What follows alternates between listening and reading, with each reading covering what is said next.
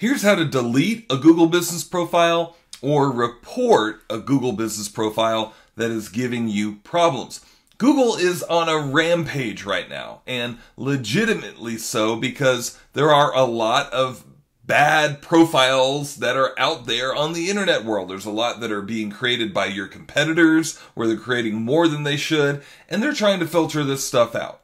So you need to know what all of this is about and you need to know what to look for in your business so that you don't have a problem. The first thing that I recommend that you do is regularly go to google.com slash business and check your business profile. Now, if you log into your Google business account, and if you have more than one Gmail address, you need to check all of those because if you have more than one Gmail, you might have more than one Google business account in a different email address. So realize that. But you need to log in regularly and look around. Now, if you have more than one listing for your company here, that is a problem.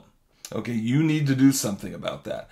But what you need to be checking out is that all of your information is correct because sometimes it changes, like I'm going to show you here in just a minute.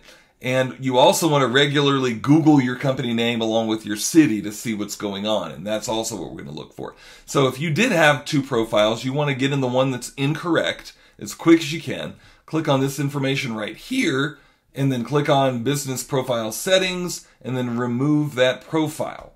Okay. That's what you want to do pretty quickly if you have access to the account.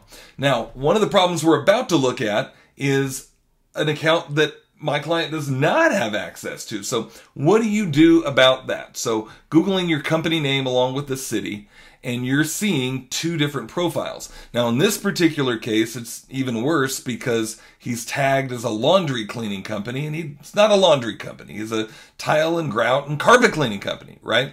Um, the real problem with this is, too, one of two things happen. Somebody might have maliciously created this specific Google business account which means that somebody else later on can change all of the information, collect reviews, and then take that profile if you or he does not have control over that profile.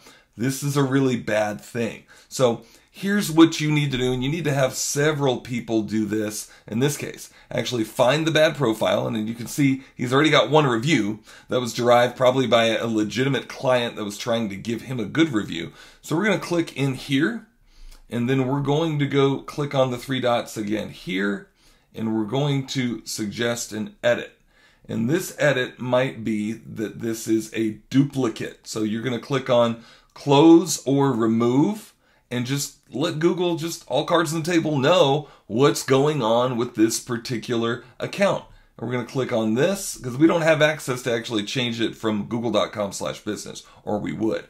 So you can actually put that this place just if it's a duplicate, that's the best thing to put. If it's moved to another location, whatever it may be, but if you're trying to mark it as a duplicate, you need to look here and then submit that. And here's the thing. You need to have other people do the same thing. I suggest that you forward them this video, have them go and find your profile, and usually it's going to be, if you don't have access to it, by Googling your company name along with the city name, and then going in, actually clicking through and reporting it here under suggest and edit. Do that, have enough people do that. It looks more legitimate that it really is a duplicate, and Google is more likely to actually remove that and then keep your regular profile. Look after this stuff, guys. This is an important asset to your business.